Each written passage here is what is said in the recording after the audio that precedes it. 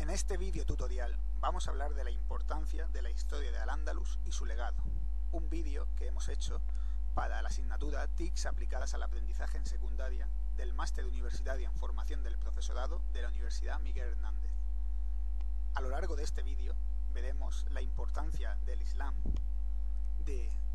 qué es Al-Ándalus, sus diferentes fases históricas, así como su sociedad, economía, cultura y todo aquello que nos ha llegado hasta la actualidad, es decir, nuestro legado andalusí. Todo ello para finalizar con unas conclusiones en las que terminaremos por aclarar la influencia que tuvo al andalus en nuestra sociedad y en la historia. El Islam es una religión monoteísta, abrámica, cuyo profeta fue Mahoma y su sagrada escritura es el Corán, siendo transmitida a través de la lengua árabe y siendo los musulmanes aquellas personas que siguen la religión del Islam, una religión que surgió en el siglo VII a través de la península arábiga, como podemos ver en este mapa, cuya difusión fue a Asia, Europa y sobre todo el norte de África, hasta llegar finalmente a la península ibérica en el siglo VIII a través del estrecho de Gibraltar, momento año a tener en cuenta que es el 711.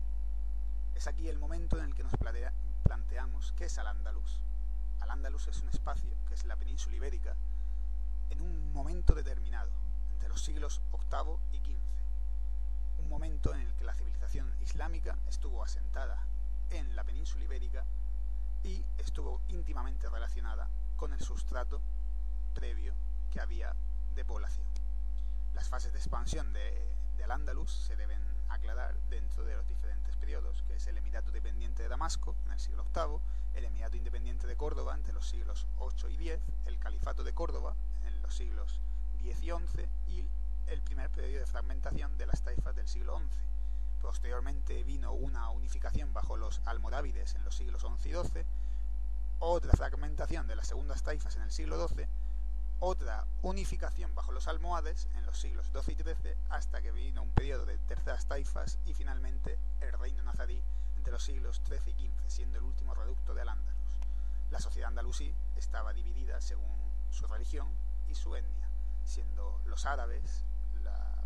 más importante junto a los bereberes, los muladíes, que eran los cristianos convertidos al Islam, los mozárabes, que eran los cristianos en Al-Ándalus, y los judíos. Un periodo que hay que tener muy en cuenta,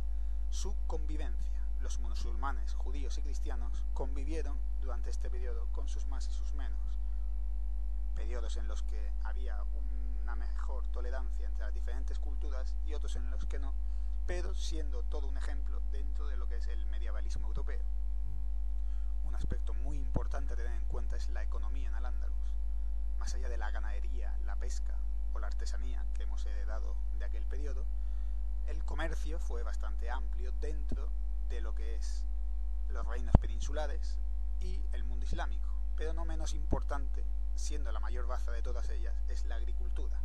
Un momento de total expansión de este sistema hidráulico que implantaron fue Al-Ándalus, y del cual hemos heredado, como podemos ver aquí, la huerta de Murcia, uno de los tantos ejemplos que hay en el Levante español y, y Andalucía sobre el sistema hidráulico que todavía empleamos en la actualidad.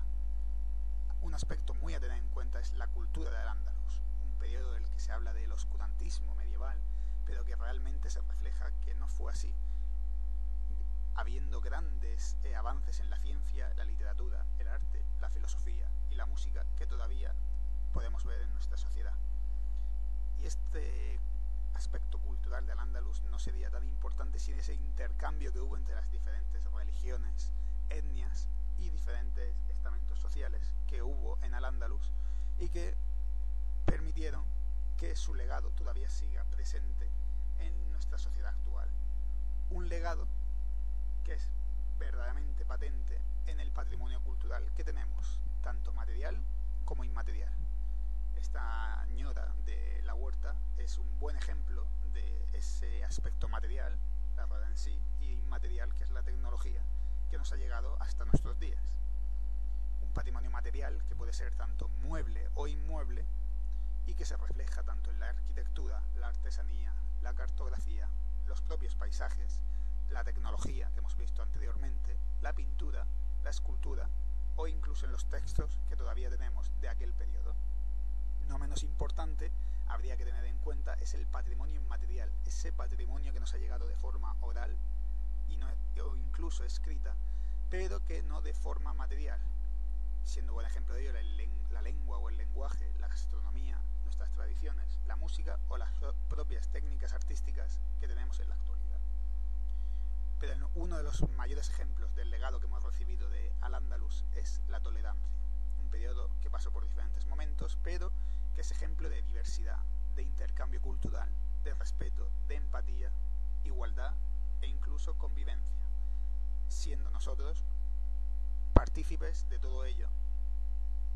como podemos ver aquí en las conclusiones. Una época fundamental y determinante en la historia de España es Al-Ándalus.